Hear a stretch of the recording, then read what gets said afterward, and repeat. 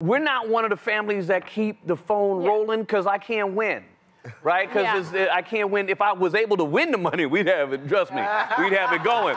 but because I work for the show, they, they, they've maxed out my paycheck. So we don't, we don't have the camera on us all the time. But no, there's plenty of things with, I have, you know, my boys are absolutely insane.